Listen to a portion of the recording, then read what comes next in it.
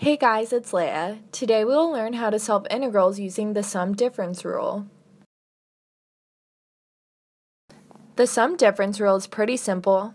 When taking the derivative of two functions added or subtracted together, you can take the derivative of each function and then add or subtract them together. Let's see some examples. First example, we want to compute the derivative of x cubed plus 4. First, we will use the sum difference rule. This equals the derivative of x cubed plus the derivative of 4. We will solve the derivative of x cubed first. Using the power rule, this equals 3x squared plus the derivative of 4. Next, we will solve the derivative of 4. Recall the constant rule. The derivative of any constant is 0. So this equals 3x squared plus 0, which simplifies to 3x squared, our answer. Next example, we want to compute the derivative of x to the negative 1 minus 3x. We first use the sum difference rule. This equals the derivative of x to the negative 1 minus the derivative of 3x. We will solve the derivative of x to the negative 1 first. We use the power rule. This equals negative x to the negative 2 minus the derivative of 3x. Next, we will compute the derivative of 3x.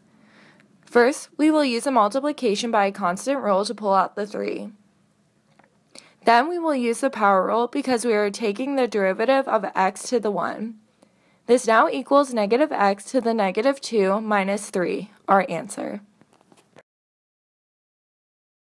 Last example, we want to compute the derivative of x squared plus x minus 5. We first use the sum difference rule, but this time for three functions. So this equals the derivative of x squared plus the derivative of x minus the derivative of 5. We will first compute the derivative of x squared using the power rule. This equals 2x. Next, we will compute the derivative of x using the power rule. This equals 1. And finally, we compute the derivative of 5 using the constant rule. This equals 0. We simplify this and get 2x plus 1, our answer.